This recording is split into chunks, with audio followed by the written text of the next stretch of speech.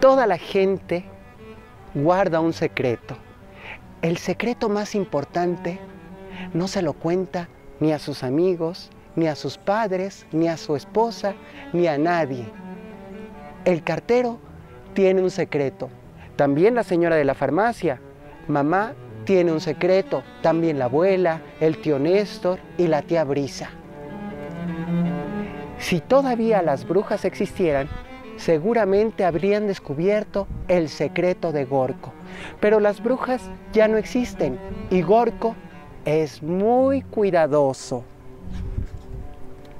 No quiere que nadie se entere que su secreto es una niña larguísima de 14 años, con ojos como de lunas dormidas, escribió Gorko, porque el lenguaje del amor es la poesía.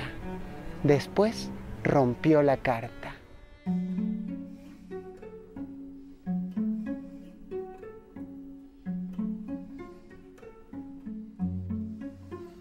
Tenía vergüenza de haberse enamorado y de una niña. Gorko se prometió que nunca se casaría. Seré un pirata para defender a los pingüinos. Seré astronauta o inventaré una máquina. Cada día Gorko se prometía hacer algo distinto. Seré futbolista, seré buzo, seré payaso o vagabundo.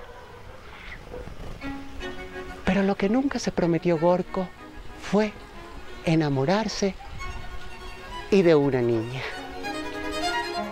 Y Gorko saltaba de la cama a medianoche. De una niña. Eso pensaba mientras iba de camino a la escuela o la maestra enseñaba la multiplicación de los quebrados. De una niña. Gorko lo intentó. Se paró de cabeza. Quizás el amor se le saldría por la boca y por los oídos. Se cambió el peinado tres veces para que el amor no lo reconociera por la mañana. No se bañó en siete días, ni se lavó los dientes, ni se cambió de ropa. Quería ser feo, porque Gorko creía que los feos no sentían. Luego Gorko descubrió la historia de Cupido y sus flechas. Se puso la camiseta, una playera, la camisa a cuadros, la camisa de los lunes, un chaleco, un suéter, otro suéter, la sudadera de papá, la gabardina del tío Oscar. Pero las flechas de Cupido siguieron clavándole amor por la niña de secundaria. Entonces supo que no habría alternativa. Sin muchas ganas, metió en su mochila un par de pantalones, los patines, la pelota y solo dejó afuera las palabras con que propondría matrimonio.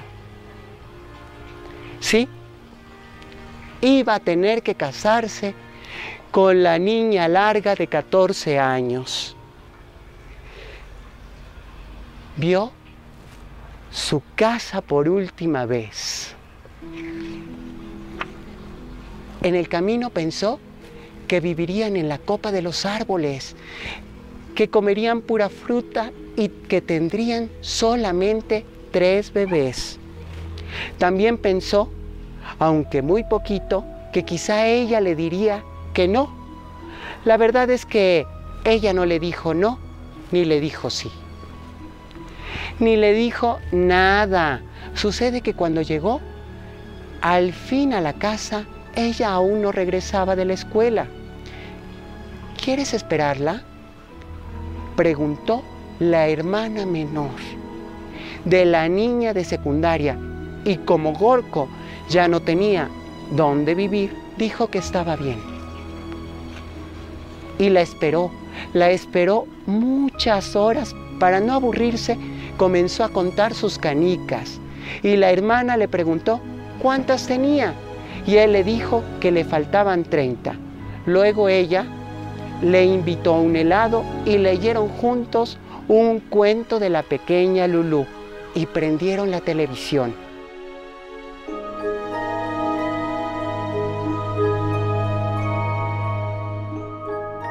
La niña de secundaria llegó hasta las 4 de la tarde. Gorko la vio entrar y no se ruborizó ni sintió nada en el estómago y su corazón se quedó quieto como un gato dormido.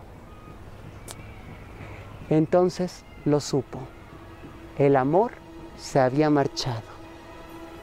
Gorko comenzó a saltar de alegría y a reír porque ya no tendría que casarse. Yupi gritaba, pues la verdad es que nunca le gustó la idea de rasurarse todos los días, de vivir en los árboles, de irse a trabajar, de tener niños. Quería seguir siendo un niño. Cogió su mochila y ya sin ninguna promesa de matrimonio salió a la calle y regresó a su casa. Estaba feliz. Lo malo es que a Gorko nadie le explicó eso de que un clavo saca otro clavo.